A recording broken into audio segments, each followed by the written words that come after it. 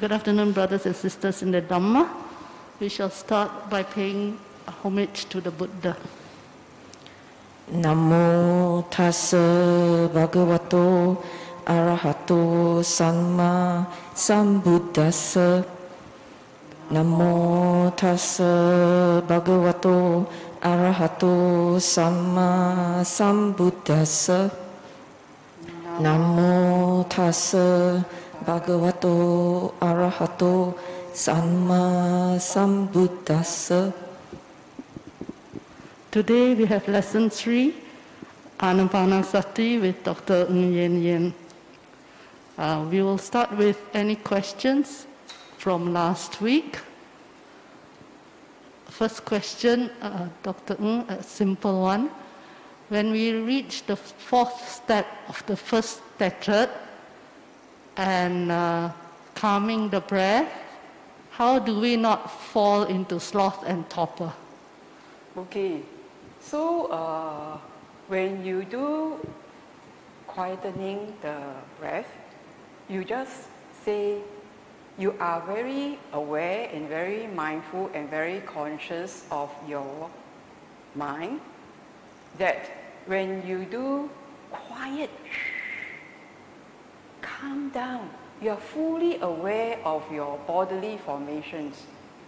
So you will just say, shh, just one level lower only. You're not going to fall asleep. If you are already very sleepy, you don't need to calm yourself further. Just say, shh, that's all. And then this is, uh, this tranquilizing is an alert tranquilizing. It tranquilizes you so that you then become aware or become very mindful of the feelings. Because now we have calmed the bodily formations, the feelings will come out, when the mental formations will come out. So when you calm down your bodily formations, another thing will appear. So you need to calm it down. You need to calm down the bodily formations. After you calm down the bodily formations, then you just sort of flow into the second tetrad, which is about the feelings. So the bodily formations is what we're going to talk about later. So bodily formations. Bodily formations, uh, what are they? First, you must have a mental formation, like I will have an intention to touch the board. So when I have intention to touch the board, I move my hand like that. Okay? This is a formation. See my movement? This is a formation. When I want to do bodily formation of sleep, it's like this. When I do a bodily formation of wake up, it's like this. So there are bodily formations. My body take into a certain formations of my intentions. So this is called bodily formations. And when breathing is a bodily formation, it is breathe in and out, in and out. And we are only concerned with the in and out. We are only concerned with the breathing in and the breathing out. Now formations, uh, you also can understand by marching formations. So you have done marching before, right, left, right, left. So when we do a formations, a marching formations, we actually, our mind just go to the bodily formations. So when you do marching formations, you are disciplined. So when you do this, you have to be disciplined. You discipline your mind to go into just breathing in and breathing out, breathing in and breathing out. It is these formations that you have to discipline yourself like you are on parade. So you are doing bodily formation. So you say in, out, in, out, in, out, in, out. Long in, long out, long in, long out. So this is the formations. Short in, short out, short in, short out. And then you just say, okay, whatever, breathing, just experience the bodily formations. You just let go and just look at the bodily formations. Are they long or short, in, out? You just watch. Then after that, there's still some bodily formations which you like to like quiet down a bit more. So then that's the bodily formations quiet down. So when you quiet down, the mental formations will come out. When we are in contact with any things, there are the five aggregates that appear. But now we just focus on the body only. So this is the bodily formations we want to focus. So this is the reason why we will just calm down the body, the formations, and then we will see the next one, which are the mental formations. Okay? I hope this is clear. Formations. Okay? Yes, the next question. Thank you, Dr. Ng. Um, we don't have, we don't seem to have any questions, so you can start your Okay. lesson three. So we go into the second tetrad, and the second tetrad is about feelings, and it's a very important uh, tetrad because we have to learn to understand feelings. Otherwise, we will be pulled by feelings here, there, and everywhere. We will become slave to feelings. Now, we have to know that feelings are the origin for cravings. So, if we feel, we will have cravings. So, in the 12 DO, in the 12 DO, 12 dependent conditionality, when you have this, you will have that. When we have, so when we don't have this, we don't have that. Because we have ignorance, we have volitional formations. So these volitional formations will be bodily, verbal, or mental formations. Then these formations will move our consciousness to the mind and body, to the six sense spaces, to the contact.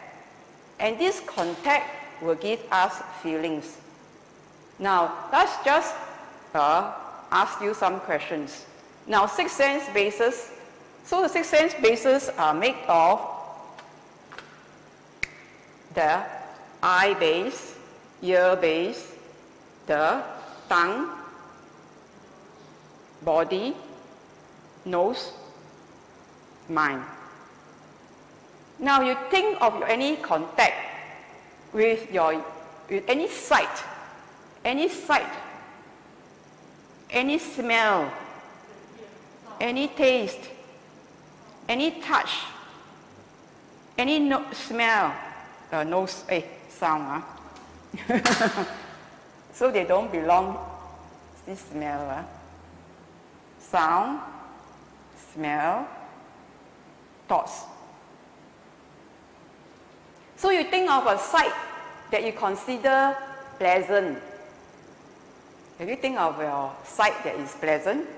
Okay. Then can you think of a sound that is pleasant? Can, huh? Then you think of a taste that is pleasant. Okay? Then think of a touch that is pleasant. Okay? And then you think of a smell that is pleasant. Then, of course, what you are doing now is through your mind. So you are having thoughts of what is pleasant. So you also can think of things that are pleasant and things that are unpleasant. Can you think of a sight that is unpleasant? People quarreling, etc., etc. The sound of quarrels. But what, what type of taste that is unpleasant? You think of it. Touch. What is unpleasant touch? A needle prick. Smell. What is the smell that is uh, unpleasant? Okay. And thoughts. What upset you very much? So these are unpleasant. And this is from contact. Now I would just say that contact with breathing. Now we are doing mindfulness of breathing. So the contact of breathing will give you rapture, bodily pleasure. It will give you mental pleasure. This contact with just breathing in and breathing out would naturally give you bodily and mental pleasure. So we know that it is from contact of certain objects which will give you pleasure and contact with certain objects which will give you pain. So generally, breathing in and out will give you bodily and mental pleasure. Right? If you couldn't get the mental or bodily pleasure, means your attention to your breathing has been distracted by other hindrances, by wanting and this and that, or hating this and that, or distracted by a lot of restlessness or, or sleepiness or doubt, or doubt whether will this breathing in and out give me bliss? Ah, that may be a doubt. And you cannot focus because this is uh, you're having mental formations. You're supposed to be just having bodily formations before you go into the part of mental formations. Now, and then after that, we quiet down, we tranquilize the mental formation. After experience the mental pleasure, we ask you to experience the mental formations. I will explain mental formations in a sutta, Cūḷavedalla 44. Okay, and why did Buddha put mental formations under feelings? Mental formations, thoughts, etc.? Why did he put it here? Right, so we will explain it by another sutta. And after we have mental formations, you experience the mental formations, just as you experience the bodily formations of breathing in and out. You then experience the mental formations. You just look and just observe mental formations. After that, it's the same thing. Tranquilize the mental formations. After you tranquilize mental formations, it naturally flows into the third tetrad, the mind. So it is all a flow from the first tetrad down to the second tetrad to the third tetrad. It's all a flow. Right. So now we want to explain why did Buddha put experience mental formations here in the second tetrad of feelings. Okay. Now we go to the Chula Vedala MN 44 Cūḷavedalla, shorter series of questions and answers. If you have read it again, if you have read it before the class, it will clarify further when I explain. And if you haven't read it, you should read it after the class. Okay, this is in order to have a better understanding. Okay, so every sutta has a place and the people involved. So where is this place? It is at Rajagaha and it is between the non-Dhammadinna and the male lay devotee, Visakha. Now, before this, uh, to tell you a bit of tidbits about Visakha and Dhammadinna, is that they were ex-spouses, right? And that one day, uh, Visakha came home, and then he told his wife, he have understood the Dharma given by the Buddha, and that now he would not want to live a life of a husband and wife. He says he is a non-returner already. The wife was, when he entered the house, the wife came down from the staircase and put up her hand to sort of like greet the husband. But the husband didn't take her hand. And then she got wondering, what, what did I do? Then the uh, husband explained as before. Then the husband says, I can give you leave now. You are free to go back to your parents' homes or you can take another husband. I leave the choice to you. And then Dhammadinna thought about it. And then she says, I will become a nun. And then she became a nun. And very soon, she attained arahantship. And Visakha wants to test out whether she really knows. And then this is this conversation between Visakha, the mere lay devotee, and the Arahanti Dhammadinna. And this, is, this will show you that the Dhammadinna had understood completely. So this is also what she taught. In the sutta, he says, he asked her, personality, identity, what is it? Then Dhammadinna says, it is the five aggregates of clinging. The five aggregates of clinging. So what are they? So it's the body, the feeling, the perception, the mental formation, and the consciousness. One, two, three, four, five. This is nothing but the mind and body. So as it is everything explained by the Four Noble Truths, the Four Noble Truths, so personality. Personality, the identity, the I give us suffering. Now the origin of the this suffering, origin of this is craving. Cessation is the giving up of craving. And then the path is the Noble Eightfold Path with the virtue, virtue, okay, samadhi, uh, concentration, and wisdom, and panya, wisdom. Huh? So, in the sense of concentration, we have the right effort. So she says the right effort is your equipment, is your practice, is your equipment to walk on that path to give rise to the wholesome, to maintain the wholesome, to remove the unwholesome, and then to let off the unwholesome. So you must have right effort and right mindfulness, which is the four foundations of mindfulness. These four foundations of mindfulness is what we are doing, or the mindfulness of breath. Then it is the right concentration, which is the unification of the mind. So she says, she said, uh, personality, this personality, this personality has an origin, has a cessation, has a path. And why did we have this view of the personality? He says that this view of the personality is because of the aggregate, uh, A for aggregate, uh, the five aggregates, this aggregate,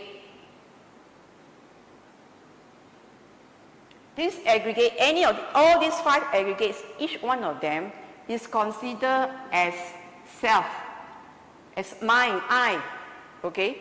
And that this aggregate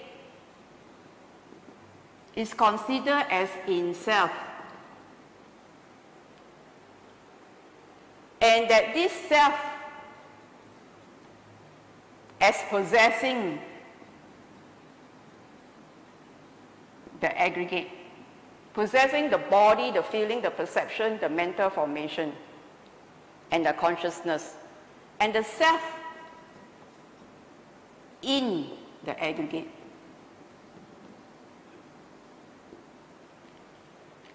Okay, aggregate as self, aggregate in self, self as possessing the aggregate and the self in the aggregate. Now look at this acronym very carefully. Yeah? A-S. Uh, A-S-S. Now this, uh, okay, it makes us this. Now this is not declaratory. Yeah? I respect donkeys because they are beasts of burden. Okay, uh, where there are places that you cannot reach, these are beasts of burden. The, if you Google this word, it will mean actually ignorant person. We are this ignorant person. So I'm referring to this. We are this. We are this because we have a view that we have this self in self. So this is the reason why we are view because we think we have this five aggregates has a self and that this aggregate is in the self or that the self self has these aggregates or this self is in these aggregates. So they feel very integrated. But this is just a view. And a view is a mental formation. And it's being conditioned through the samsara that we have to perform. We have an I, we have a name. We are in a family, we are in society.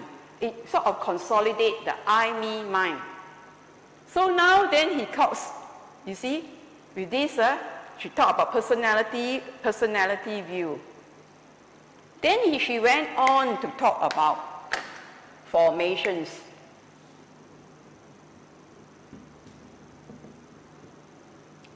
So she says the bodily formations, bodily. Bodily formation is breathing in and breathing out. Okay? Verbal formation is thought and sustained thought. And then we break up in a speech. Like I will have to think before I speak. Right, huh? If I don't, then I'm this. Right. Now we talk about mental formation. She says mental formation is perception and feelings. Perception and feelings make up mental formations. We perceive, we are breathing. Feeling of the breathing. We think. First we feel, then we perceive, then we think. And this mental formation, the definition of mental formation here is perception and feelings. So when we have a pleasant feeling, when we contact something when we have feeling, or we have aversion, there is a sensation that you feel. This mental formation. So this mental formation actually includes, this mental formation includes, is actually perception and feeling perception and feelings. So you have perception and feelings, and we now look at it very clinically, your feelings uh, as mental formations, so that we don't get too caught up when we have pain or pleasure. It's just a mental formations. Now to uh, reinforce what is mental formations, you know, we all have this emoticon. Okay, huh? Emoticon will tell you whether you are happy or sad. We are into feelings, okay? We are into feelings. And emotion is emotion. It is feelings, uh, it's energy in motion. So mental formations uh, will give you mental formations uh, based on feelings and perceptions you would have feelings, uh, feelings uh, that you have said before, pleasant. So we have pleasant feeling, pleasant. Okay, we have pain, uh, pain. And if you have neither, so we have feelings, pleasant, pain, or neither. So we talk about formations bodily formations. So we have bodily formations, verbal formations, mental formations. We are now doing bodily formation, the first tetrad, and then second tetrad, we are doing mental formations. So our explanation is that perception and feelings are your mental formations. You, you, uh, first you feel, when you contact, first you feel, and you perceive, and then you think. Right. about the contact. So now we have this explanation, okay, about feelings. And this is either of your mind, just now we talked about mind here, or it's about body. So it's pleasant in your mind or body, pain in your mind or body like sadness, etc. Neither. Okay, you are neither. So the Buddha then in then he asks, is the are these feelings tendency to last? So if it is for your five sense objects or your own five sense basis, so a tendency to last Huh? When there is a tendency to last, when it is pleasant. When it is so pleasant, you want that thing right. You want to go out right. Some people have this like, want to go to nightclubs or want to go to the beach, even at this time of COVID, eh? because they have this tendency to feel for the sense pleasures. So it is the tendency to last because they are thinking of having a pleasant feeling. Tendency to aversion when it is pain. If you have pain, you have an aversion, right? Then in ignorance, he says, is neither. Neither pleasant nor uh, pain. Because when you have this feeling, you feel indifferent.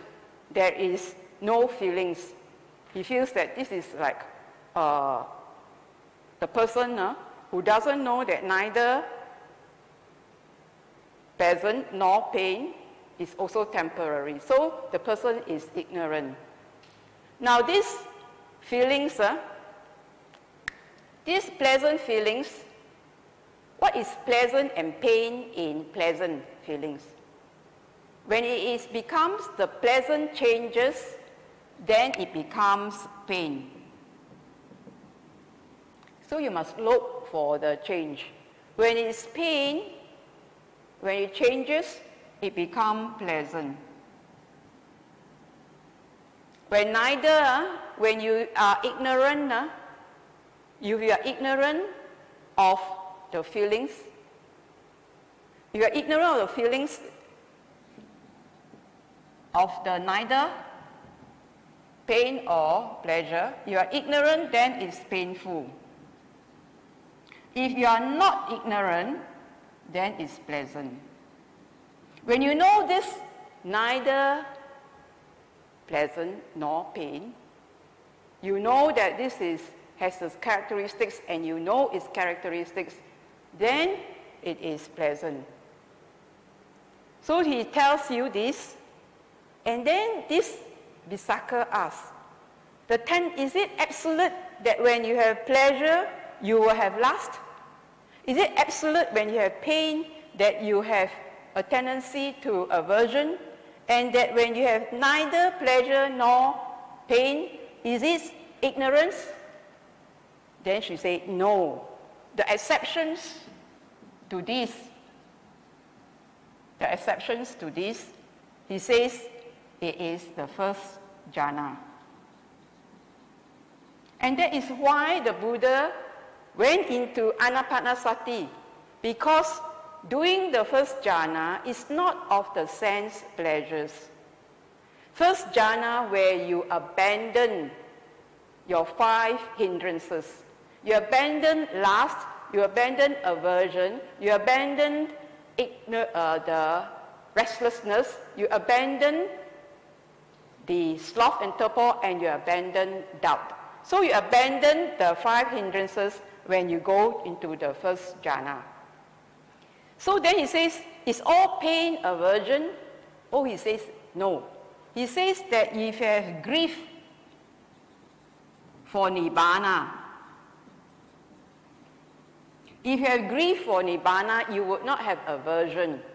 Although it is painful to have uh, grief for nibbana, wanting nibbana, he says this does not give rise to aversion.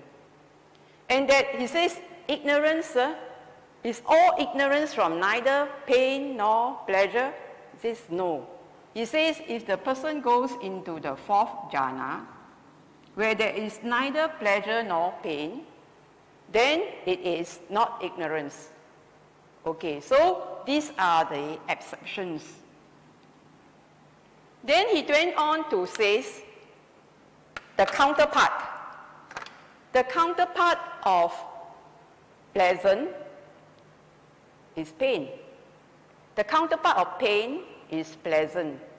The counterpart of neither is ignorance. Okay, yeah? Ignorance. And the counterpart of ignorance is true knowledge. And the counterpart to true knowledge is deliverance. And then the counterpart of deliverance is nibbana. Then our cheeky Visakha says, what's the counterpart of nibbana? Then Dhammadinna says, there's no counterpart to nibbana. It ends in nibbana. If you're not certain, you go and ask the Buddha. And then, of course, Visakha pay respects to Arahanti, Dhammadinna, and then he make his way to the Buddha and told about all this that have happened. And the Buddha says, Dhammadinna is wise. And I would have explained your questions as, and the answers would be similar to hers.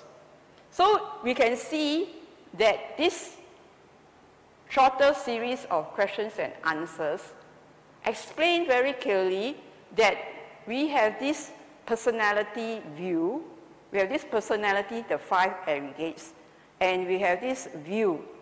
And all these formations, he tells this, this is important to understand. We now take breathing in and breathing out as bodily formations when we do anapanasati. And we take mental formations as perception that this is breathing in and out, and then as the feelings that arise, and the mental formations that we take it as perception and feelings. So we just continue to complete this whole thing by the last sutta here. To this last sutta, he talks, it is, it is at Jetavana, Jetavana, and it is between Venerable Sariputta and the Venerable Maha Kotthita. Right. So Venerable Sariputta is foremost in wisdom, and Venerable Maha Kotthita is foremost in analytic knowledge. This is to complete uh, the five aggregates. So in this question, he says, wisdom, what is wisdom? So we want wisdom out of all this, right? Wisdom is the Four Noble Truths. So the wise and the unwise. The unwise does not know suffering, the origin, right? So when unwise people, they will go for sense pleasures, non-safe distancing, right? You know, so these unwise people have certain choices. When they make choices, you see, when they make choices, they would either have a wise or unwise decision. And this unwise or unwise, uh, it is of the Four Noble Truths. So it's wisdom. He says that wisdom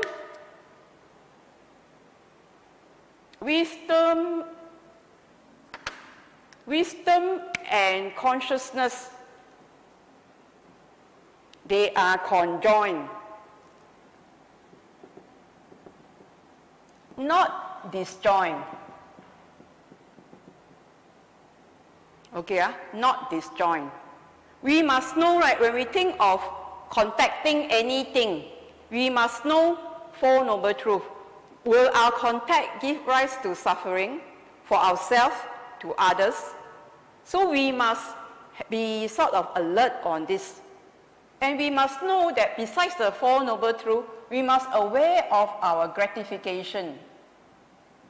then we must aware of the danger of that contact and the escape. So to be wise, you have to apply this. You have to apply whichever you want to do. Is there a gratification? What is the gratification in wanting to do something? Is there a danger of contacting COVID and get the disease and die? And what is the escape from this dilemma? So this wise and unwise decision is about four noble truths. Right, huh? And this four noble truth is sometimes, uh, he says, it is prompted by another. And hope, uh, we hope that by reading suttas, the volitions that we have will be wise decisions. So we want to be prompted by the Buddha, prompted by the another or wise attention, wise or unwise attention depending on what you are doing. And that it has to have assisted by precepts, virtue, learning, discussion. Uh, serenity means tranquility and insights. Don't you think all this require you to be conscious? So when it, you require you to be conscious, it is conjoined, not disjoined. So consciousness and wisdom are conjoined, not disjoined. So you have to be conscious what you are doing. You have to be conscious that you are having these precepts or have you broken the precepts? You must be conscious whether you are going to learn and you are learning and that you have discussions and that whether you have tranquility or serenity or whether you have insights. You have to be conscious of this. Such consciousness is conjoined, not disjoined. And so he says consciousness, wisdom has to be developed consciousness has to be fully known. You need to know what, you need to know this consciousness, you know. You have to be fully known. Otherwise, you will descend into your mind, body, and give you a whole lot of suffering. So, consciousness has to be fully known. Okay, ah. Now we go to why there is this connection. What's the link? So we have feelings, so we have consciousness. We, this consciousness will know whether what we use consciousness, cognition, to think, to understand, to plan, etc. And we have to have consciousness to feel, whether it's pain or pleasant or neither. So there must be have feelings and we have perception. We must have consciousness. So this consciousness conjoined, the consciousness is conjoined with feeling. You must be conscious of your contact, on your contact, huh? and that the feeling, what this contact gives rise to what feeling, and what's the perception. So consciousness is conjoined not disjoined from feelings and perception. Okay now, you must be conscious of your feelings, right? It is no rocket science, okay? You must conscious what you are feeling. Is it pain or not? If you are not conscious, uh, that means you don't have. So you must be conscious that you have feelings and you have a perception of this, right? Uh? Now from here, we have said Mental formation is perception and formation.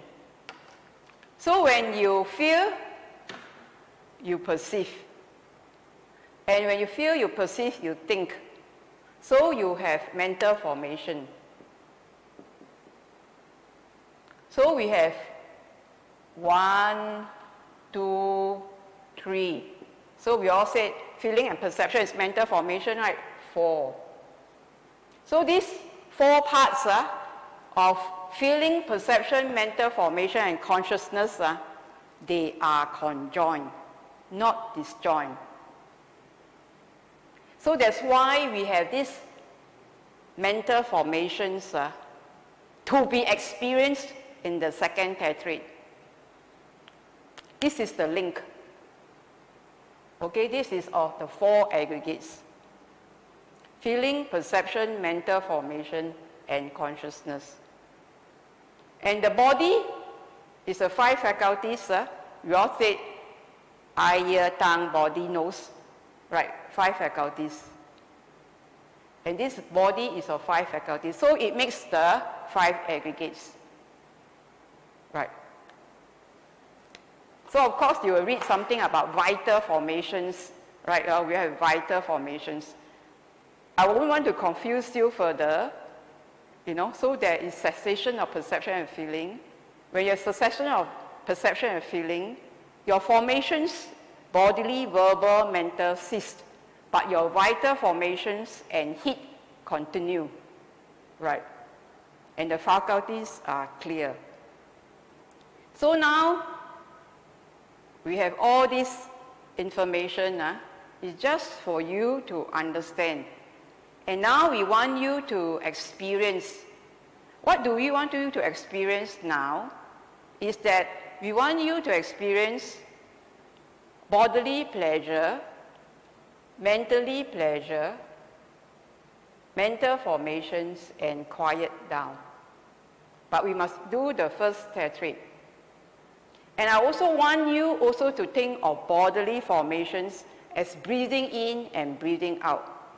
And you are now a warrior, a soldier, marching in, out, in, out, in, out. Don't divert, don't get distracted. If you do that, you will be able to experience what the Buddha says. Right, if you follow the instructions, just the bodily formations quiet down, then you will feel the pleasure in the body and the mind, then we want you to experience mental formations and then quiet it down. That's all. So now, this is like to explain to you mental formations. That these mental formations of perceptions and feelings and consciousness are all conjoined together. Of the five aggregates, the four aggregates is what you are going to experience. Okay. We shall start now. Okay. Go to your favorite spot and then cross your legs. Put your back straight. Right, yeah? And then you put your mindfulness in front of you. This putting your mindfulness in front of you is important. It is in the middle path. And then you breathe in and you breathe out. Right. So just relax yourself. Just now was a rah rah rah, but now we just want to experience what the Buddha taught 2,600 years ago, and it's still true, it's timeless, and this meditation on mindfulness of breathing will help you to reduce your stress. And this is universal. It's universal and uh, the only religious thing about it is you must do it religiously every day. So now we just go into this bodily formation of breathing in and out. So we breathe in and we breathe out. And we put our mindfulness in front of us.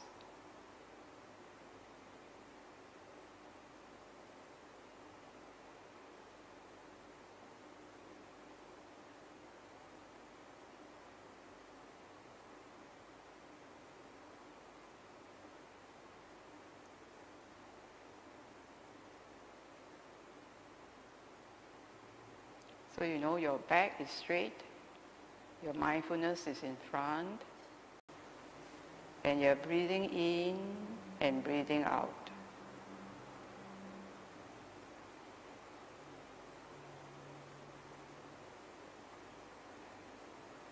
So you breathe in long, and you know you breathe in long.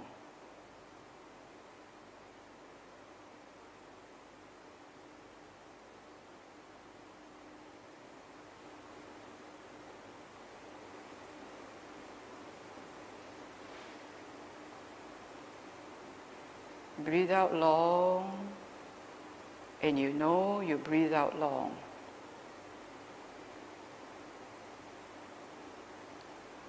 So you carry on breathing in long and breathe out long by yourself for a few minutes.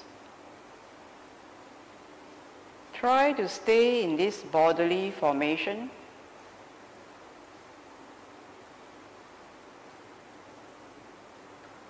In, long, out, long.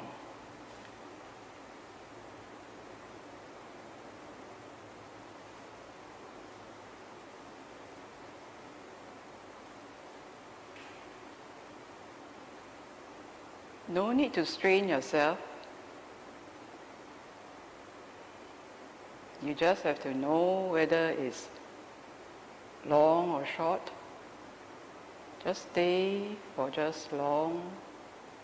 It's soothing, relaxing.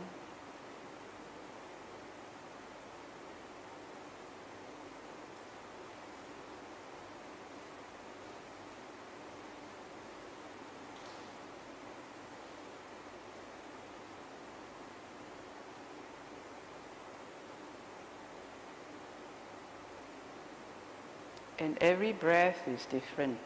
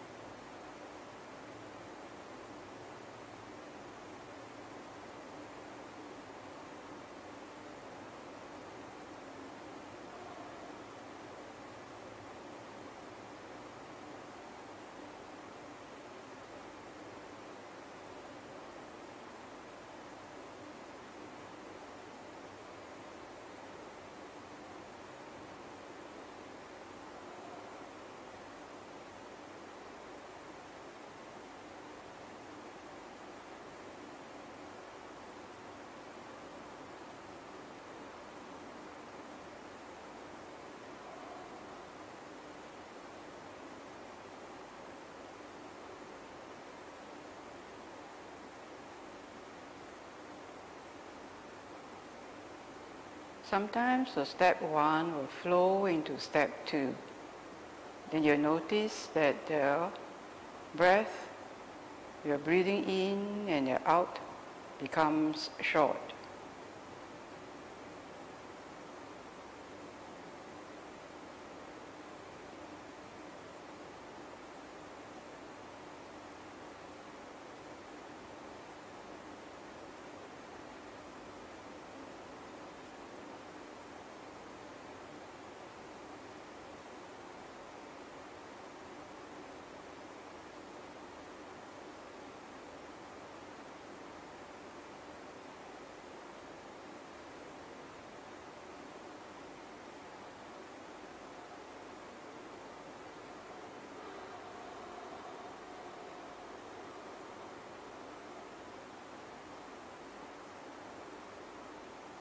Breathing in short, you know you're breathing in short.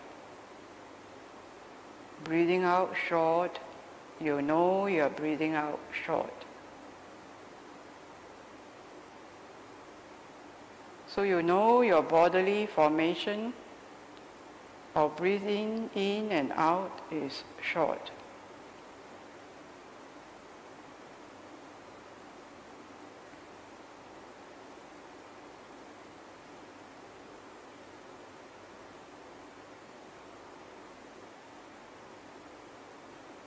You remain in contact with the air, the air element.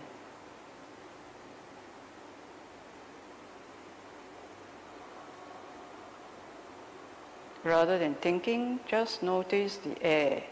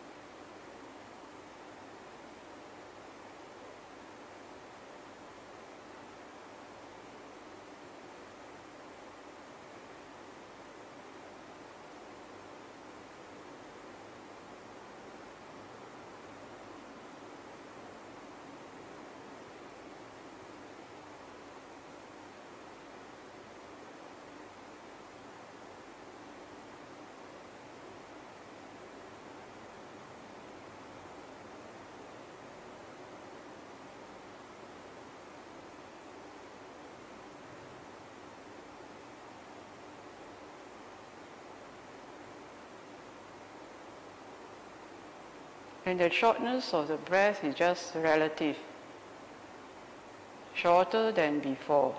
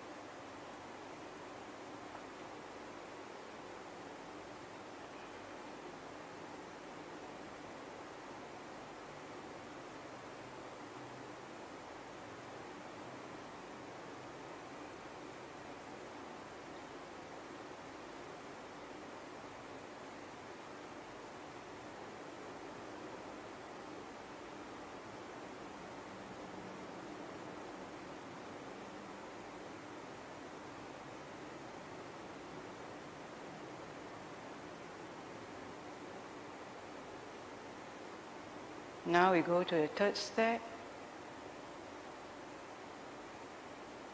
Mindfulness still in front of you. And just experience the bodily formation of breathing in and breathing out. You don't have to do anything, just watch.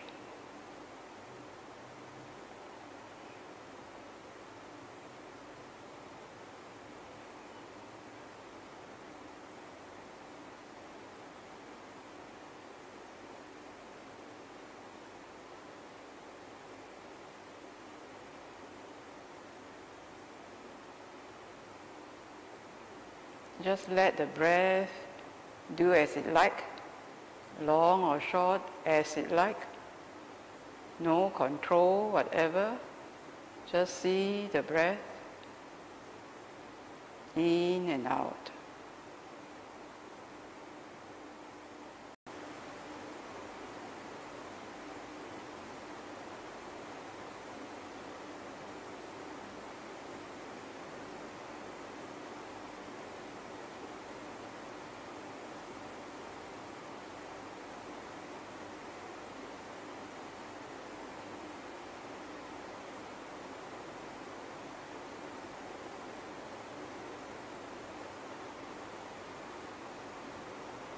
So you get to experience the bodily formation of just breathing in and out.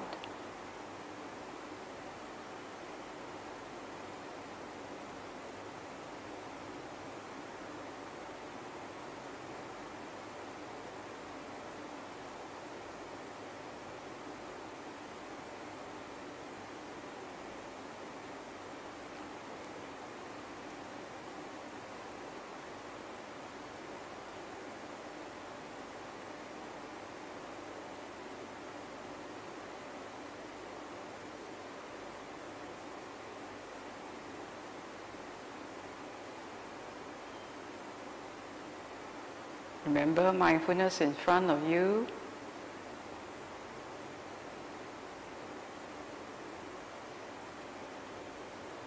Face must be upright. Just breathe in, breathe out.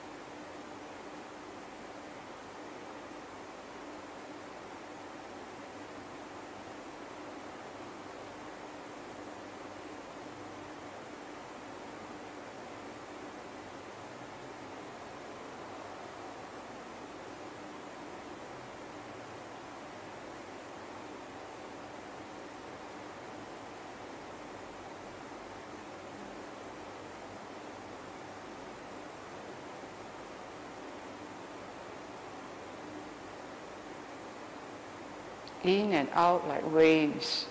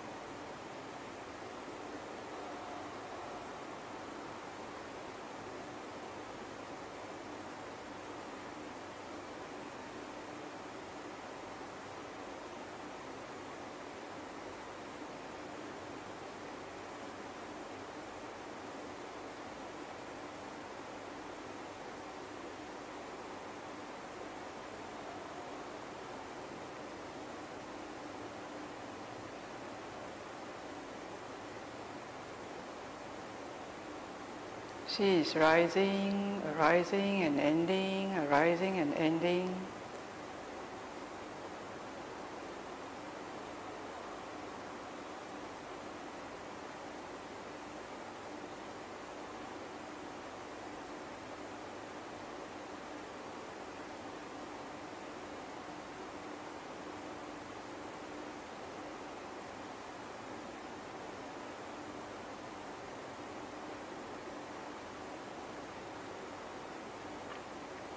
See whether you notice the pause between the in and out.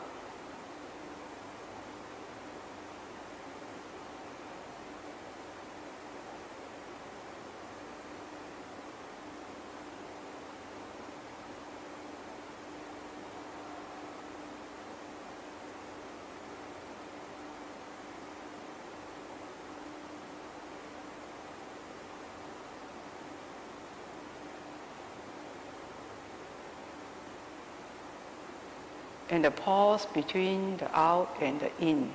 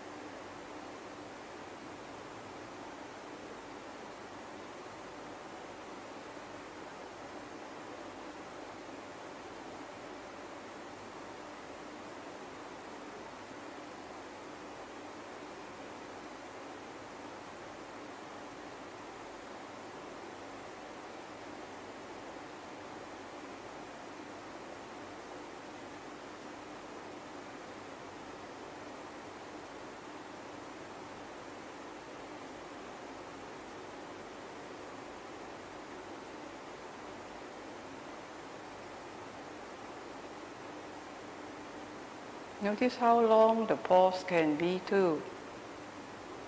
And you experience that pause as well.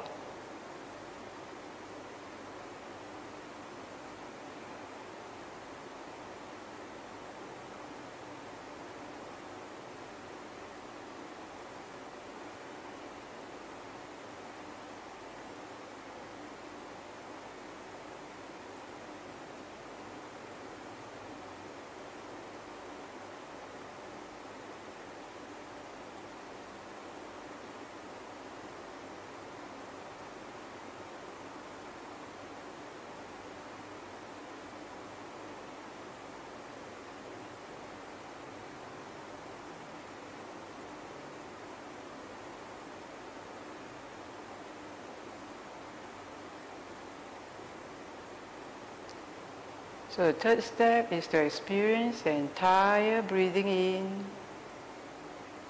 and the entire breathing out, including the pauses.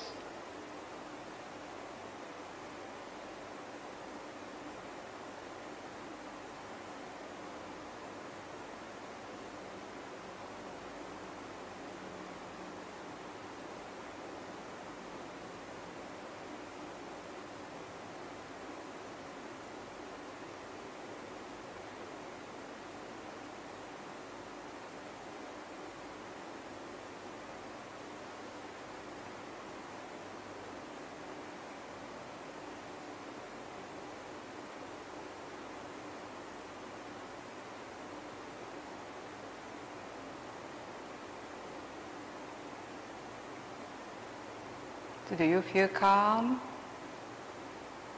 You look at the breathing in and breathing out.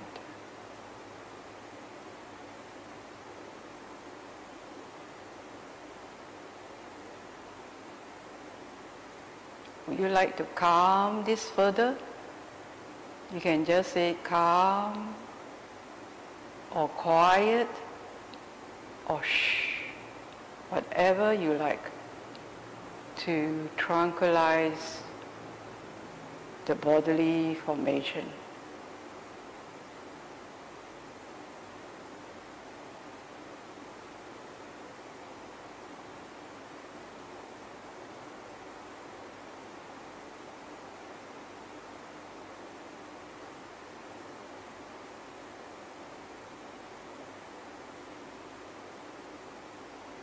Breathing in, calm. And you feel the calm. It's not lip service, breathing in, calm.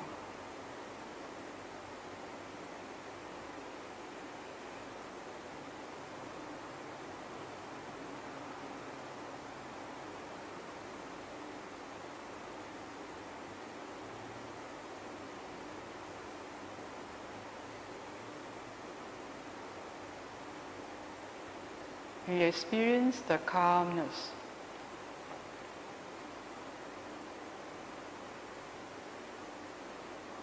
Breathing out, calm.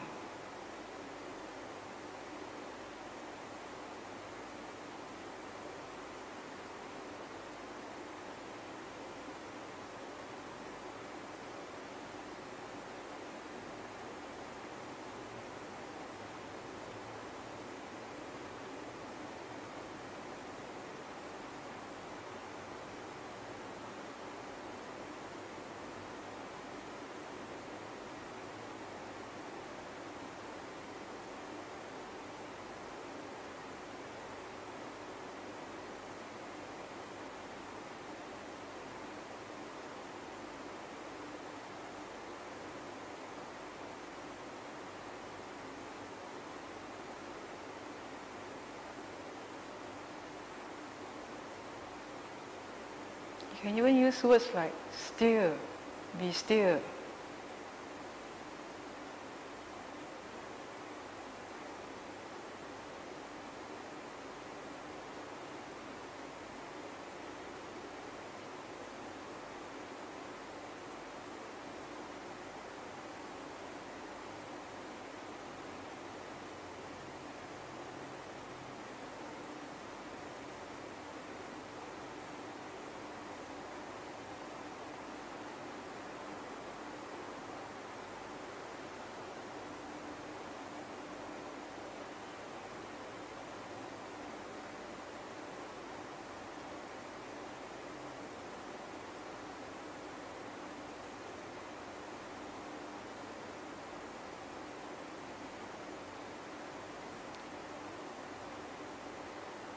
Now we move to, to the second tetrad.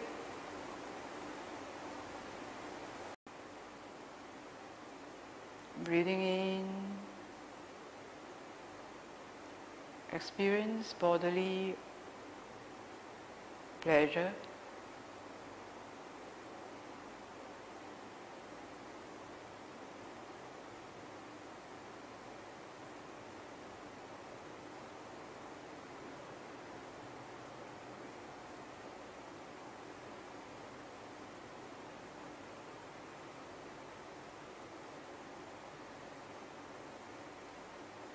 Breathing out, experience bodily pleasure.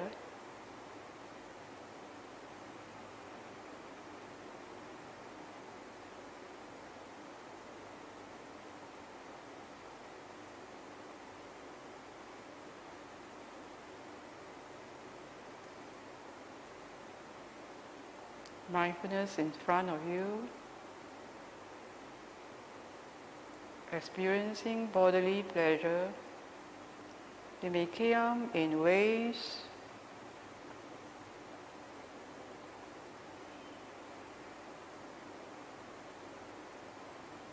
experience whatever bodily sensation you experience.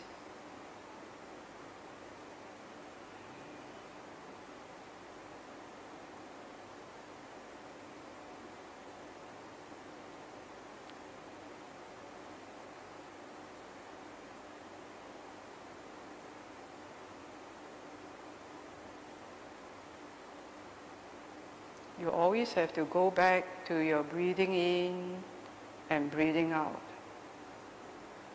Breathing in, bodily formation, bodily pleasure. Breathing out as bodily formation.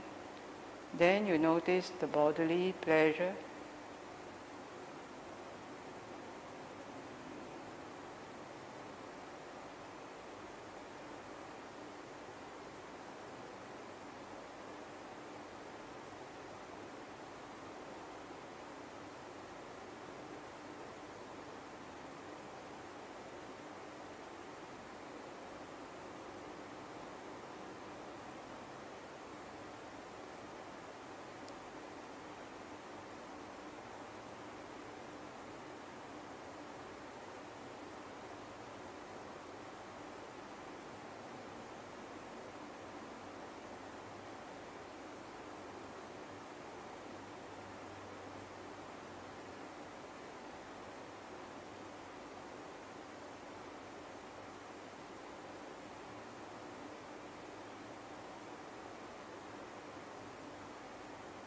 So you are mindful of breathing in and breathing out, and you're mindful of the contact of breathing in gives rise to feelings in the body and in the mind. So you just focus on breathing in, contact with breathing in. What is that bodily feeling?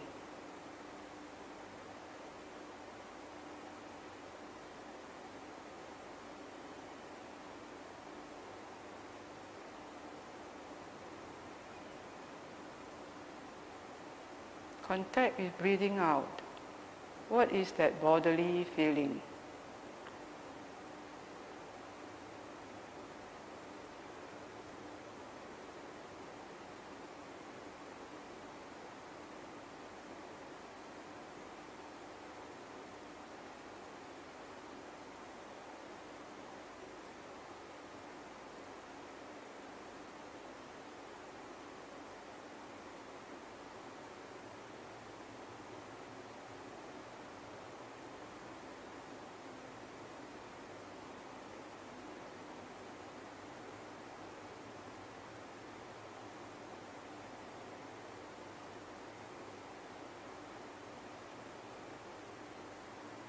So you have to stay on the contact of breathing in and breathing out.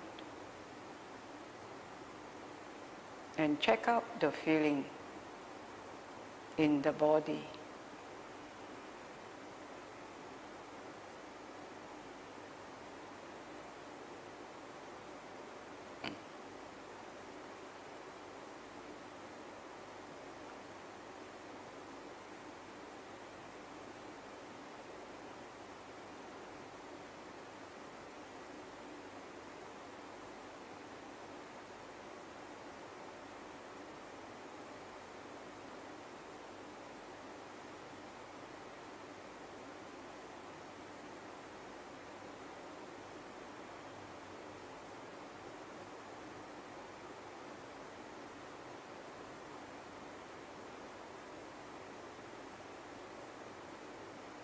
So this is experiencing. You don't have to do anything, just breathe in and out. Just experience the bodily sensation.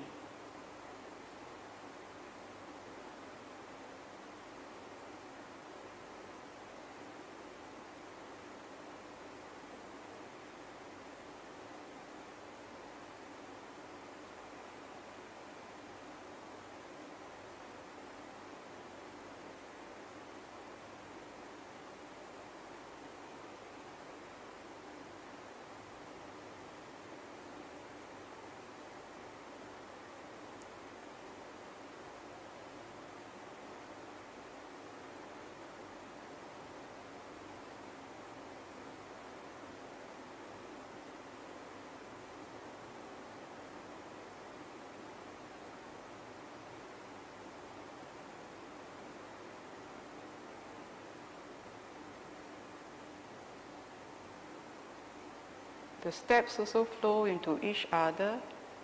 So if you just allow yourself to just continue on breathing in and out, the bodily sensations get softer and softer. Then it goes naturally into the mental sensation of pleasure. You just stay on breathing in and breathing out.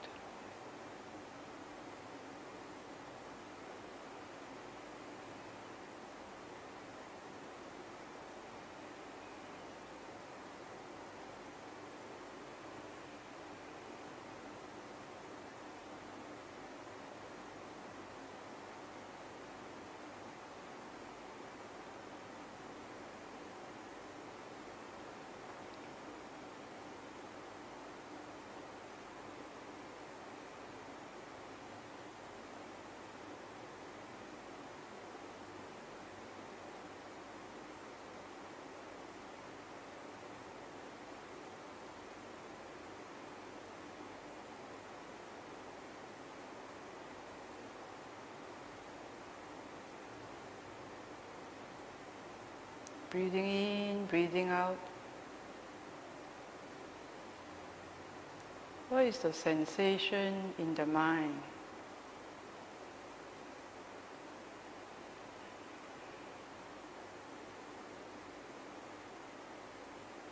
Is it pleasurable, painful, or neither?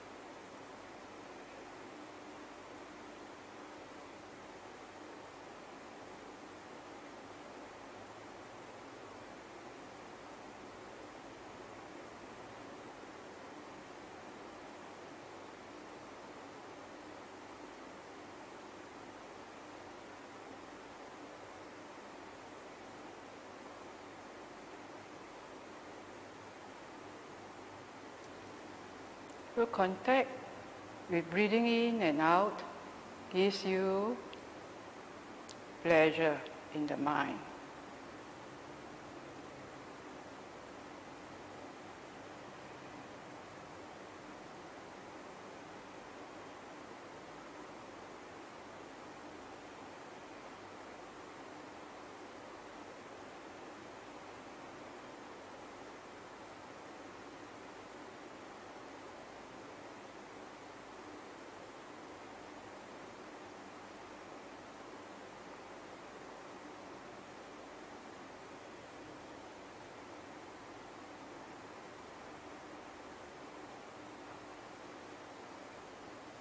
So we go to the third step of the second tetrad. Breathing in and breathing out.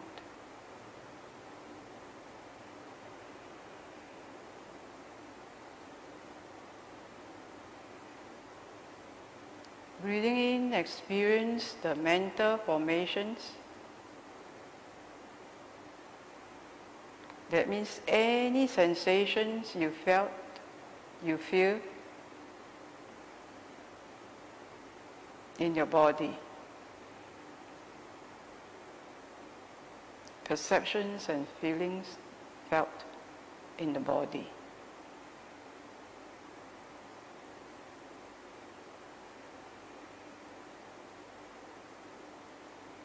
See as just sensations these mental formations? Where does it arise? Where does it goes?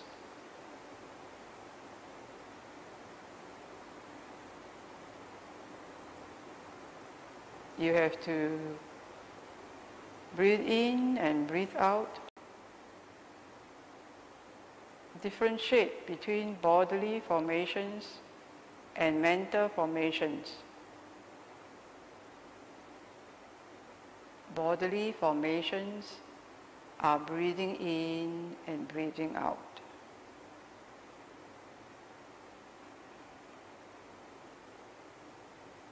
So just do breathing in and breathing out and experience other sensations and the other sensations are the mental formations.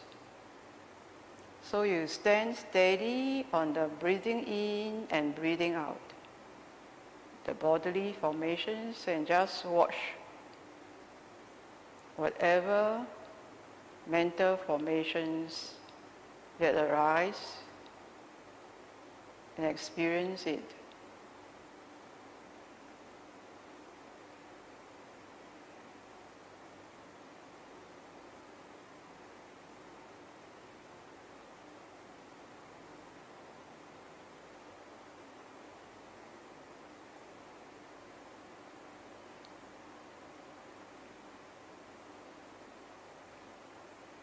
First, do breathing in.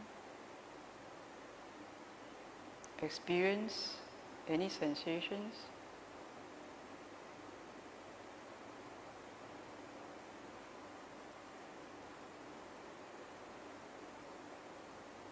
You can feel better at the pause. Breathe in.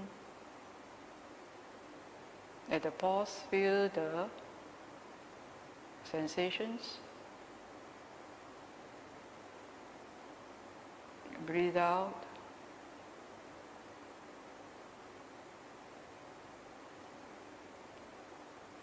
Feel the sensations. You carry on for a while experiencing mental formations. Breathe in, experience. Breathe out, experience.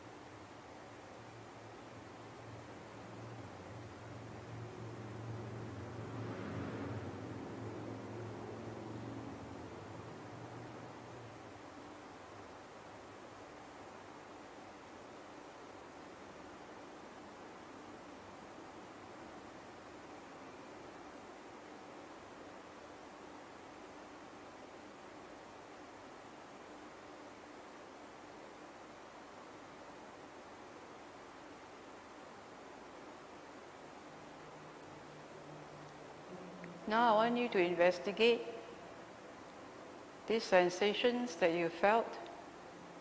Do you feel it at the back or do you feel it in front of you?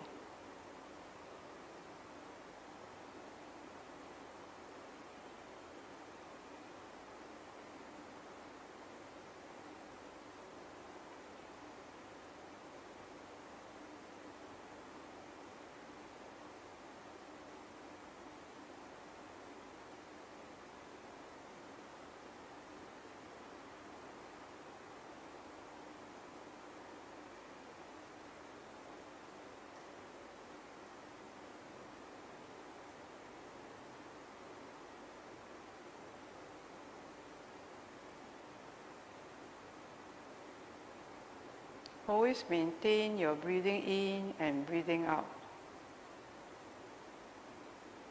Breathing in, experience. Breathing out, experience.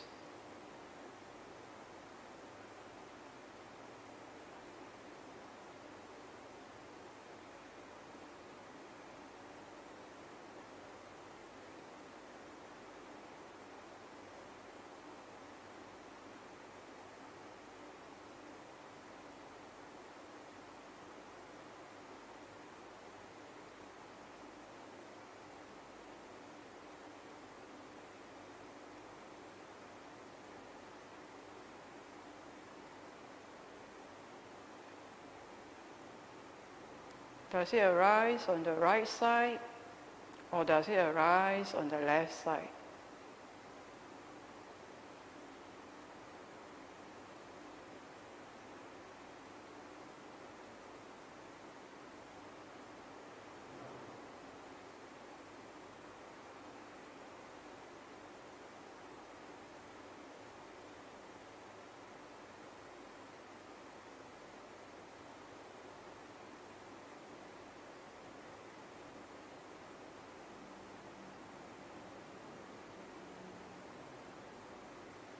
Remember, put your mindfulness in front of you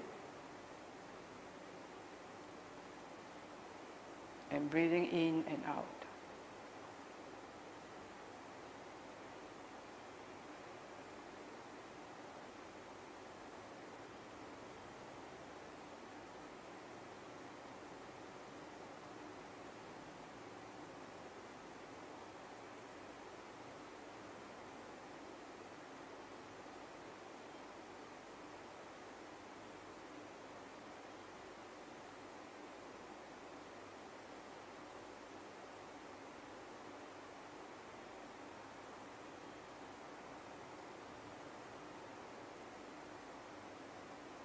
Buddha says feelings are like winds. And your world is this, however tall you are, whatever tall you are, this is your world. So the winds will blow, the mental formations will blow like winds. Strong winds,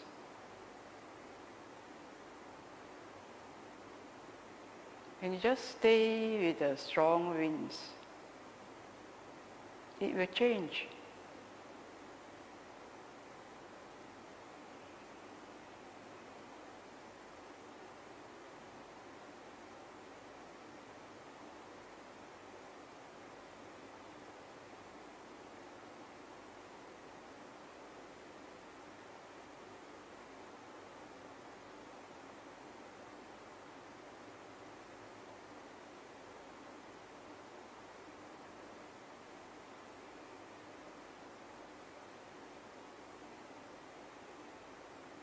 How does this emotions move?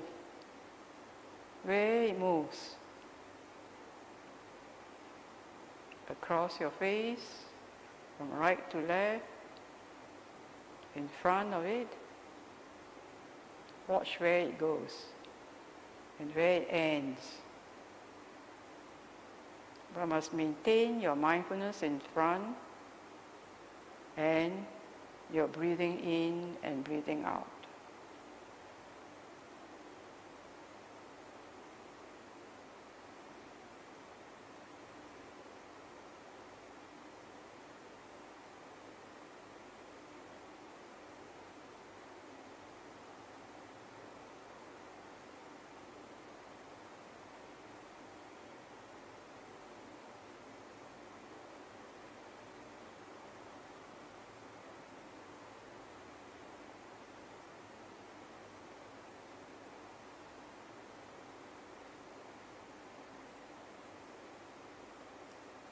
Someone in the class ever mentioned about fear?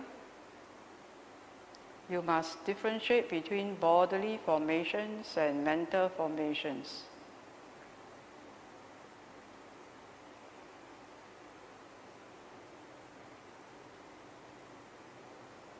You always be safe when you stay in the bodily formations of breathing in and breathing out. And if you can detach and look at bodily formations and look at mental formations or feel as a mental formation, let it just pass and see how it passes. From which side to which side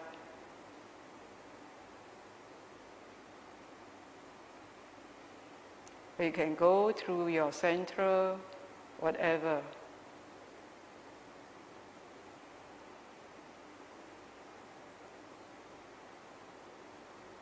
In this posture of meditation, you are safe.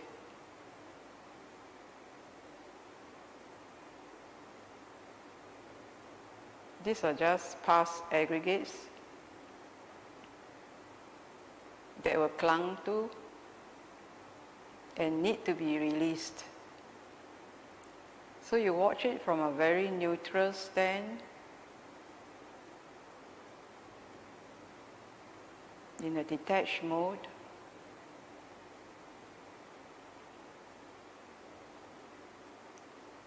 Clear what is bodily formation and what is mental formations and experiencing them as strong winds that blow in diverse directions.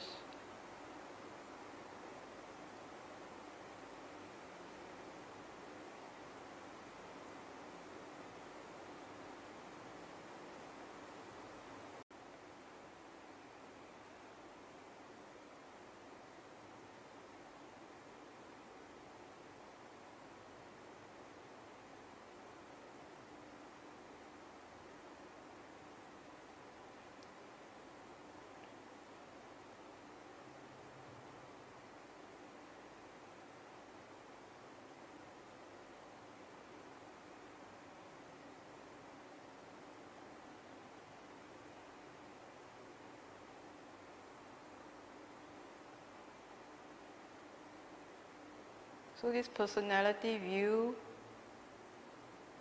that you think fear is in you, as is as you, is a ignorant or a S situation. So you must free yourself. It's just processes depending on conditions, just a past clinging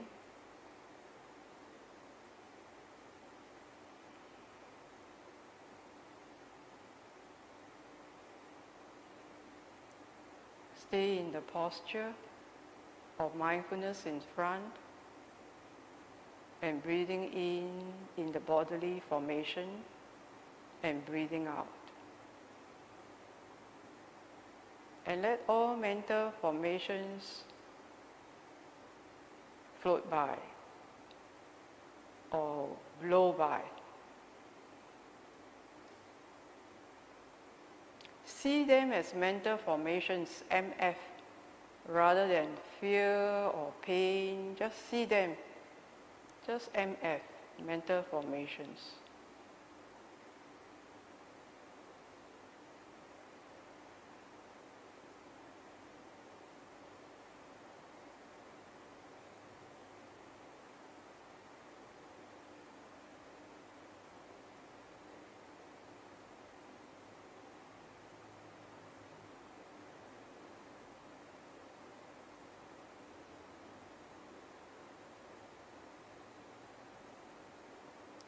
So we go to the last step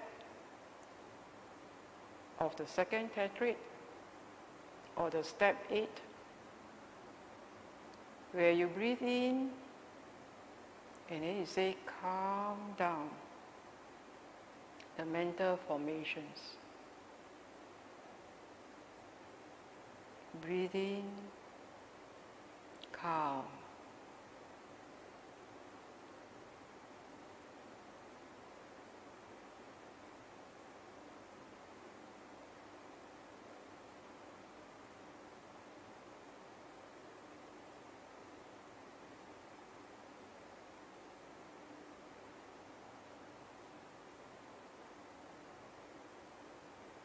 Breathe out, calm.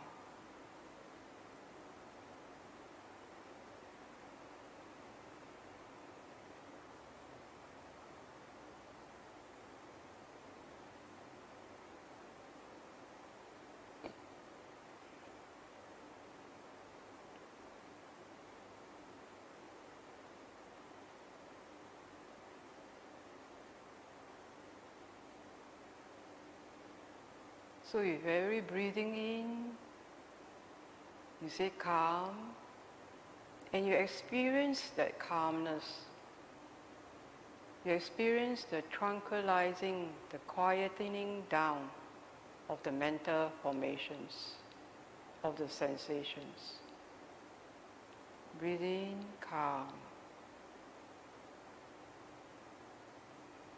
So you are clear on bodily formations. Now you calm the mental formations. They are different.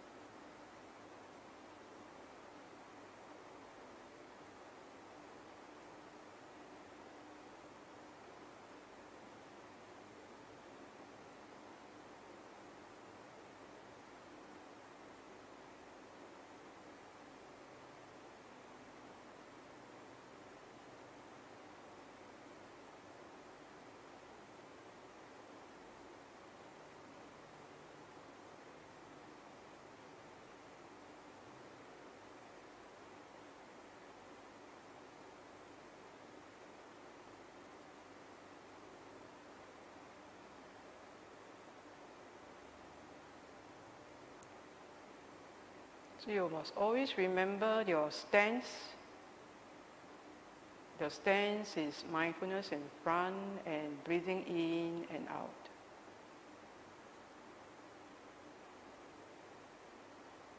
To observe the feelings, the mental formations.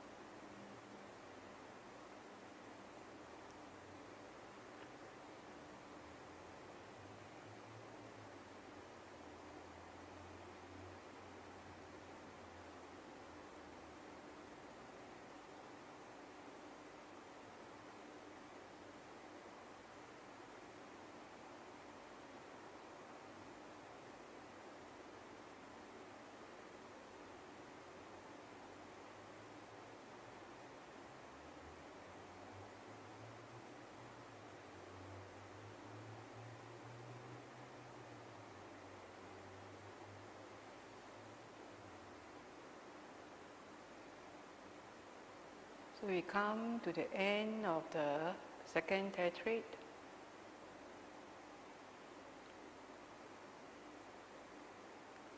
Feel the bum on your seat.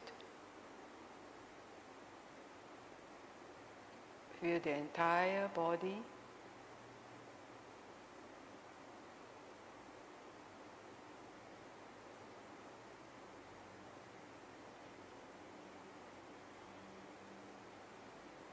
Slowly take your time to open your eyes. So you have questions for 15 minutes?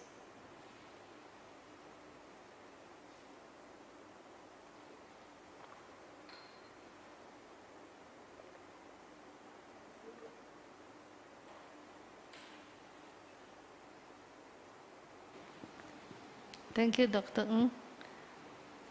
This one, I have a sinus issue that causes my meditation to sometimes be disrupted. I could feel one side of my nose not taking in the breath properly. Any advice? So it's okay. Just know that your is one side of your um, nostril is blocked. Then you can use the other side. As long as you are breathing, you know you are breathing, it's okay. Doesn't matter. You just do your breathing in and out. Thank you, Dr. Ng. Another question. Um, she managed to follow the meditation until uh, this uh, point when you go into the second tetrad, where you mentioned about mental pleasure. Mm. And uh, she said she reached that phase. However, she had bouts of sleepiness. After Oh. that, uh, um, So came the- back to concentrate on the breathing again. And Okay. Yeah. So they consider this uh, bout of sleepiness as a hindrance called sloth and torpor. So sloth and torpor, it happens in your, um, after the first step in the second tetrad.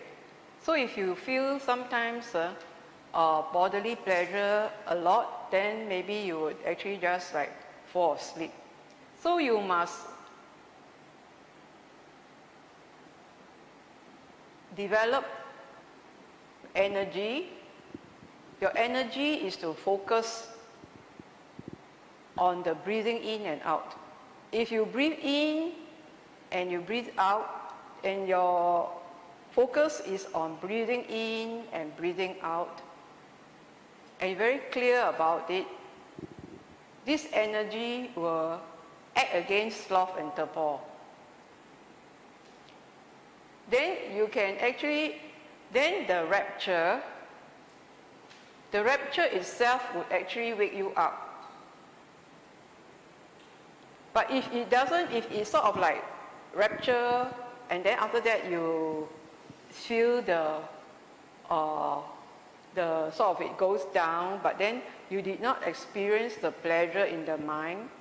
Sometimes, because it becomes very soft, that the, the mental pleasure, then you think it is sloth and torpor. So you must be very clear when the rapture ends, whether it is pleasure. And also, you ask yourself whether you love sloth and torpor, whether you like this uh, sloth and torpor sensation. So we have to be very clear. So you also can investigate. So when you realize uh, that you are like getting sleepy, you then go back to your breathing in and out. So by going back to the breathing in and out, you actually exert yourself so you have the energy. So this is an hindrance and this is how you overcome hindrance. You apply energy and then you effort energy and effort. So we say right effort. So when we have this sloth and torpor, we have to like, oh, get out of that. So you have to exert yourself, go back to your bodily formation, your breathing in and out, exert yourself, and then if you feel your bodily rapture, it is a bodily sensation, right? And then you investigate. So all these faculties, uh, this can be uh, used to overcome sloth and torpor. Okay. Thank you, Dr. Ng. Another question. My mind fleeted away a few times as my uh, breathing continues. Um, any tips to help? Can I do counting of the breath? Your mind flitted away uh, while doing which? What breath? breathing. Breathing In and out. in so, and out, yeah. So when your mind flitted, flirted, uh, flitted and flirted, uh, same, uh, because you flirt to something else. So you went somewhere else, as long as you know you have flirted away, you must go back to your original partner. And the original partner is breathing in and out. And you have to be faithful to your original partner. So you then go back to breathing in and out. So the counting all that you can do if you have difficulty, but you can just say, come back. It's like just training, training yourself. To be aware that you move out is good. So that when you move out, you know how to move back. So you just need to, like I say just now, you just need to exert a bit of energy, put a little bit of effort. Stay in the breathing in and out. So you are, you are a warrior marching right, left, right, left. So instead of right, left, right, left, it's in, out, in, out, in, out, and stay on the march. Otherwise, your general will whack you. So you just stay there, in, out, in, out, and see whether it, how long you can stay. As long as you can stay in, out, in, out, you can give yourself a pat on the back that you can stay in, out, in, out. You can stay on this in, out, in, out, pause. You know, this, this formation. So you have to put effort in staying in the bodily formation. So like you are in a marching formation, you are doing this march. You are now a warrior. Okay, a warrior. Ah, and this, all this meditation is anti-stress. Okay, it's, uh, it's good for you because you become more mindful. Now being mindful that you have your mind gone out is also mindful. So it's very good. It is uh, a progress.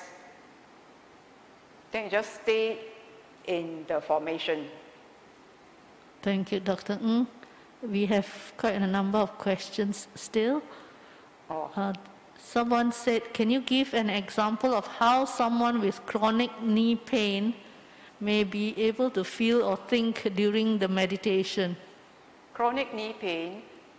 So when you have chronic knee pain, you must position yourself in a way where you don't get affected by the chronic knee pain. If you have chronic knee pain, you might not want to sit cross-legged. You might want to sit on a chair. You, must, you might want to support your knee. Okay, so as you will make yourself very comfortable. So, or you actually uh, lie in bed. So if you are a person in pain, you are entitled to lie in bed. Right. So now, so that you can experience the first and the second tetrad. So your mind knows and be able to perceive such that you can go through these eight steps uh, uh, with just your contact uh, is your breathing and the contact is not your chronic knee pain. Right. So we want to position yourself where you can be in just breathing in and out and not be distracted by pain. Right. So whatever, whatever, after a while, you can use this, once you train yourself, you can use this uh, to look at pain. But only after you have trained yourself. So the Buddha says no self-mortification. Don't beat yourself up, okay? So here when you have pain, don't sort of like, I will endure it. Come high waters, I will endure it. So this is called unwise. Unwise in the sense that there is pain, means there is suffering. When there's suffering, your body will react, We have some chemicals come out, right? Yeah? So we want you to position yourself where you are pain-free. First, you're pain-free, first you're comfortable, then you can experience the pleasure. Okay, so we are not sadist or masochist. We want you to experience what the Buddha taught. And the Buddha went through six years of self-mortification. He had a lot of pain. And he says that this is not the way. So he remembered that if he just go on breathing in and breathing out, he will feel the pleasure. And this pleasure, this pleasure is not of lust. Right? Huh? This pleasure you will have without the five hindrances. Okay. Thank you, Dr. Ng. When we experience the mental formations, that is the rapture and the happiness of the earlier steps, um, is that the way, or are the earlier feelings still around? So the mental formations are just the sensations. So if they are the rapture and the pleasure, then be it. But you see, sometimes uh, we have a lot of memories and we have a lot of clinging, right? Sometimes when your mind is quiet, when the pleasure, the mind sort of soothes things out, sometimes mental formations comes out because we are still a person with clinging know, to the five aggregates. So when these aggregates comes out like fear, etc., this comes out as mental formations. So you see these mental formations as coming and going. So if the mental formations are of the previous rapture and pleasure, then it's good. You just carry on. And then it is to actually uh, know how to watch mental formations. Just watch them. So did you see them as front or back, right to left, which part, you know? So uh, these are things where you can uh, investigate. Then you become more detached. It will help for those people with negative mental formations such as pain, such as uh, fear, or any other uh, despair or whatever they have. So this is a good way of watching or experiencing mental formations as winds that come and go. And you see where they come from and where it went. Right?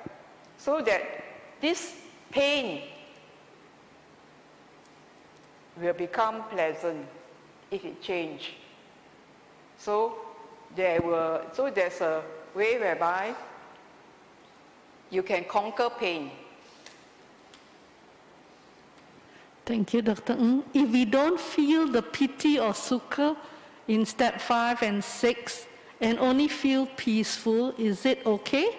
Sure. Should we continue to step seven onwards or do we keep on doing step four? Oh, no need. If you feel peaceful, it's good. If you don't feel piti or sukha, but you feel peaceful, it's okay. Right, huh?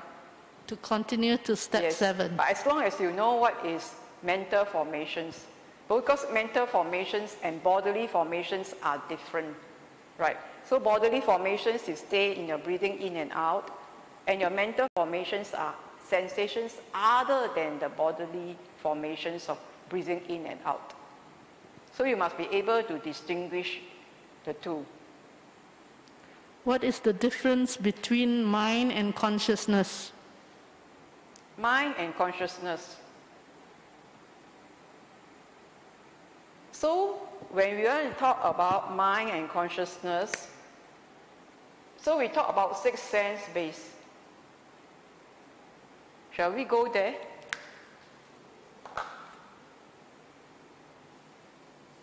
I shall clear this off. ah.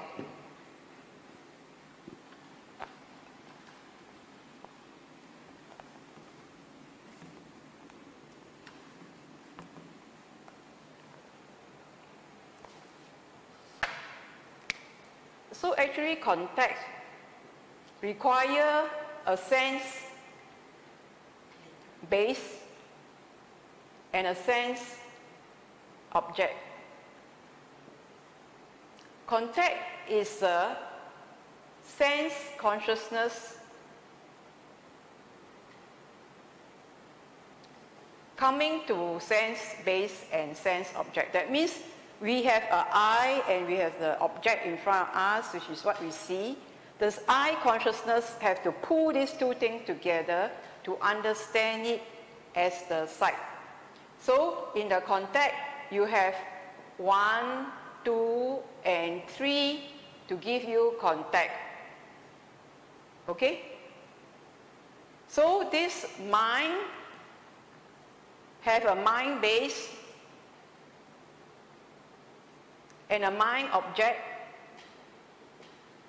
mind, uh, mind object, and a mind consciousness.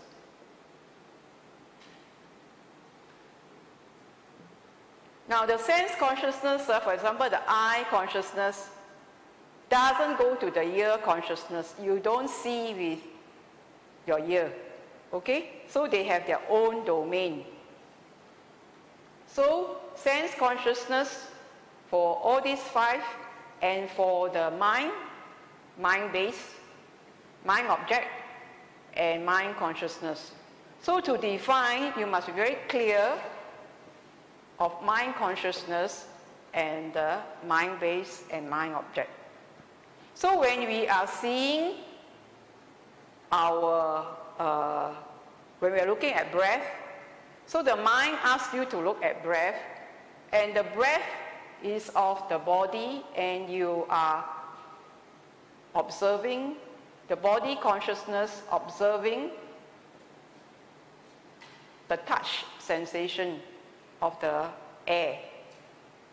So your mind tells your body consciousness go to the nostril. So this part of it, uh, don't entangle yourself with too much of details. You just do these four steps. When, the, when we go into mind objects, when we go to the sixth sense base, after the fourth tetrad, then we will look into exactly what is mind consciousness. Right? So we just know that mind consciousness is of uh, looking at mind objects, and the mind objects is the fourth tetrad. So we don't jump the gun. We just go into the second territory. Okay. Thank you, Dr. Ng. I'll put three questions together. During, uh, someone said uh, he doesn't seem to feel, be able to feel mental formation, whether the feeling in the leg pain is a mental formation. Another person said, while experiencing the second tetrad body sensation, breathing in and out, he feels numbness in the leg. Is that a wrong bodily sensation to feel? and the last one, the third one related to it, is it, um, are we allowed to do light stretches during meditation if we find the pain is impeding our concentration? Okay. So this uh, leg pain, numbness, and light stretches, uh, so all this leg pain uh, means your contact uh, is not with your breathing. Your contact is now with your leg pain or the numbness. So, uh, so this pain of the body, pain of the body. So this pain of the body is contact okay, contact with the contact. And so this contact with a painful object gives rise to these unpleasant feelings. So you, your, this your primary object is your breath, but your attention is being now to the uh, pain of the leg. So similarly, your posture for the sitting, for the leg pain, you must sort of elevate it a bit, uh, have your back elevated a bit, uh, and make yourself comfortable. You can sit on the chair or on the cushion. It's up to you. After a while, when you settle down to cushion or uh, you will get, you get used to, the body get used and you adjust itself and the leg pain get less. So you must be able to touch the pleasure point. If you touch the pleasure point of breathing in and out, then you want to stay in the breathing in and out. And the tension goes less to the uh, leg or the numbness. It is uh, generally there's a conditioning of your body to a particular posture. So you don't sort of like uh, push yourself. You haven't sort of put your posture in that position before. Pushing yourself will give you numbness and leg pain. So you can start off with just like 5 minutes, 10 minutes, 15 minutes in a certain posture then when your body is conditioned, that it feels comfortable, it will be able to stretch itself longer. But you mustn't like push yourself, you know, to a position or posture you're not used to.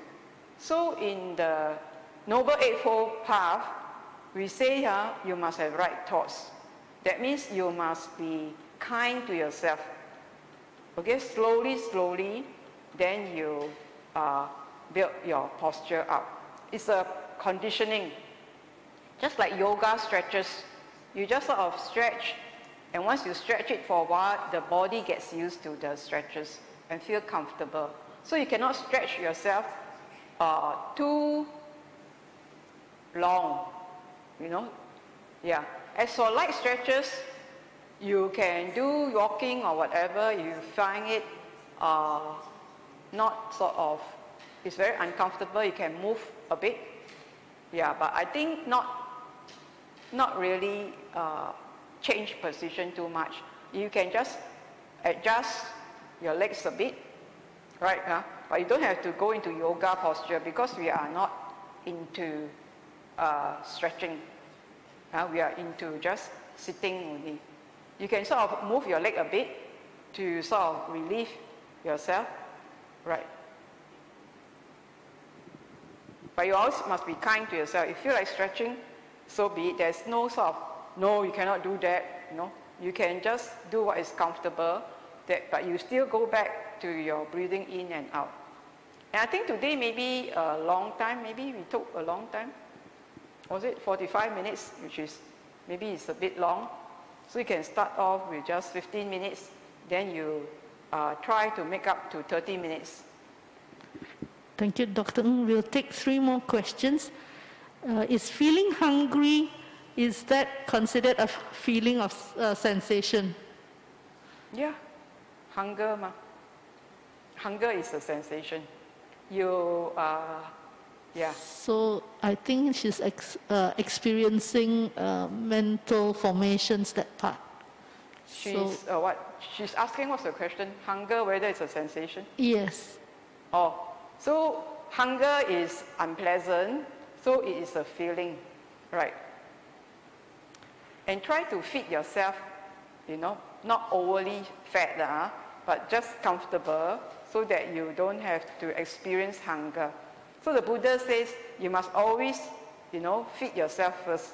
So the, the devotee who is hungry, he says, feed him first, nourish him physically, then we are nourishing ourselves with mental food now. Thank you, Dr. Ng. Another question on mental formation. I can't seem to find or experience the mental formation stage. My mind is blank. Is one supposed to experience the feeling or perception? Feeling or what? Or perception. Oh. Because he can't feel or experience the mental formation. It's Okay. blank. Right, right. So this uh, blankness uh, uh, is you cannot feel anything, then uh, is not feeling anything. So do you feel good or not? You know. So uh, I'm not too certain. Uh, so sometimes it's sometimes doubt on what is this. It's just a sensation. You know, it's just to feel. So we're under feeling. So we just want to experience any uh, sensations that are felt after the step three. Yeah, so this blankness is just a blankness. uh, This is what you felt. So that is it. So you, you just uh, quieten down yourself because sometimes when you might just move into step nine, which is experiencing the mind.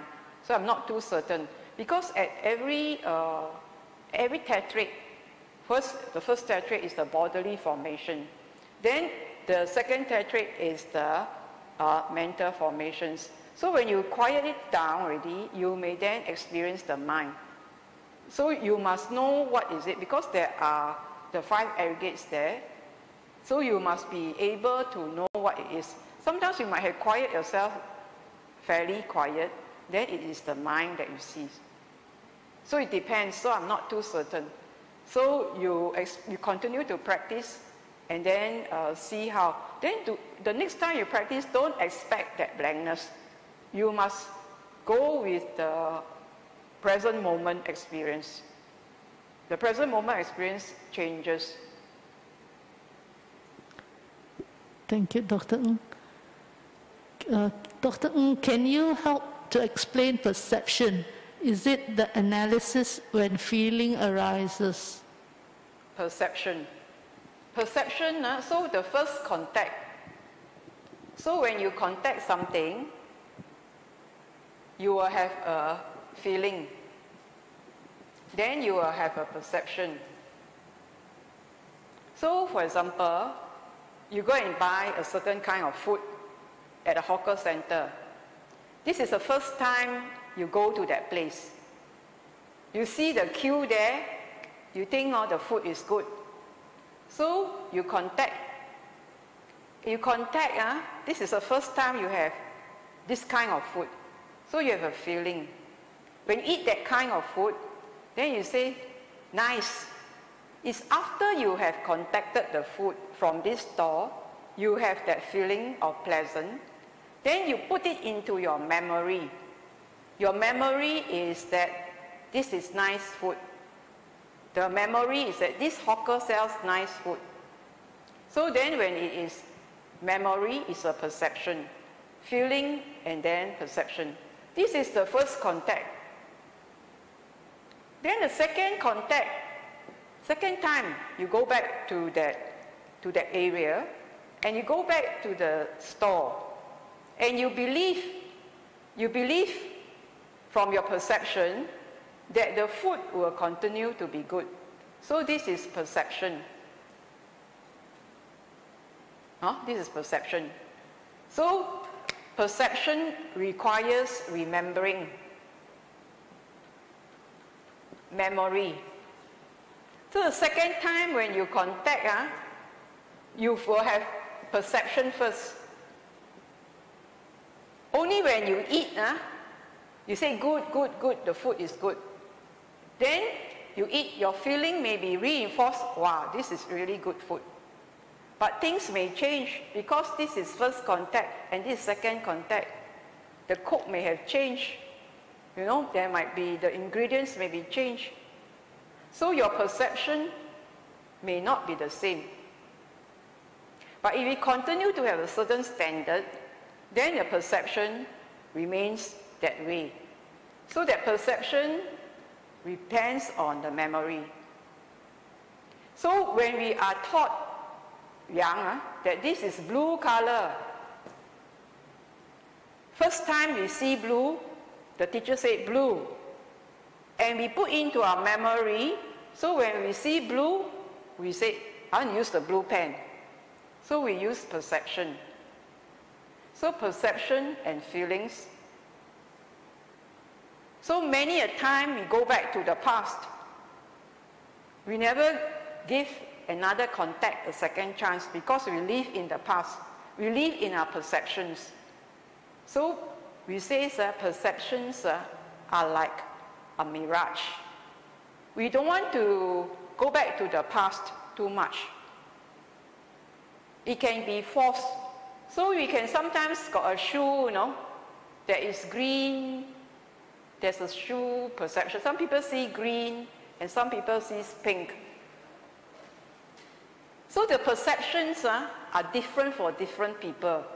We in the human realm are different bodies with different perceptions.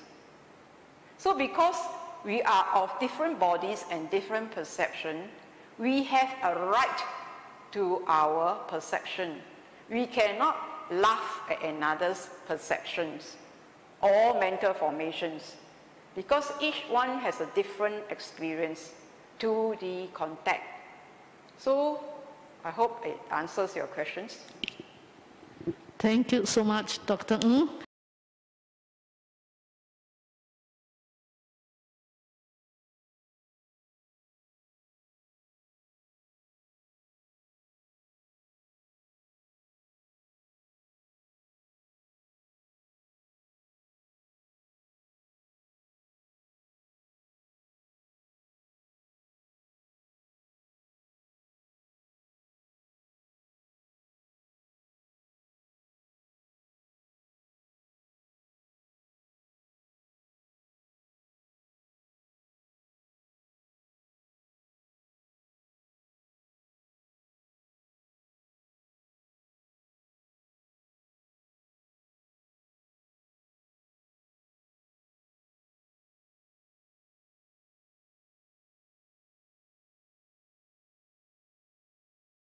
We shall end the session here. Okay.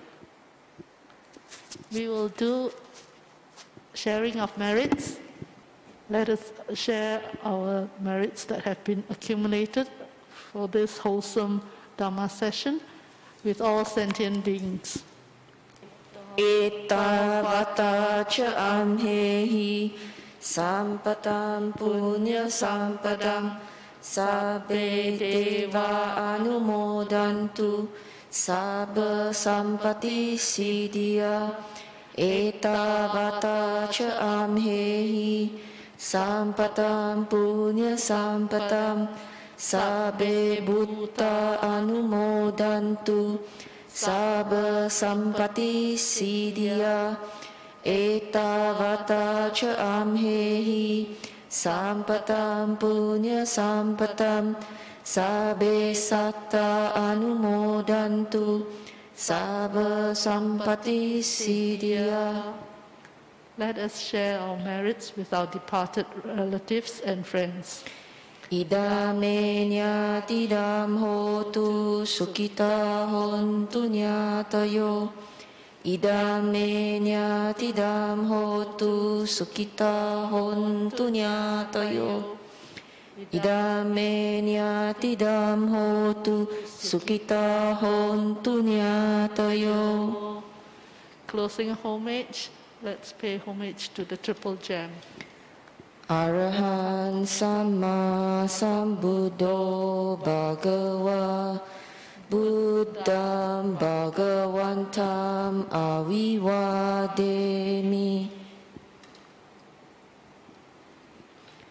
Swakato Bhagavata Dhammo Dhamman Namasami. Supatipano Bhagavato Sanghakasanho Sangam。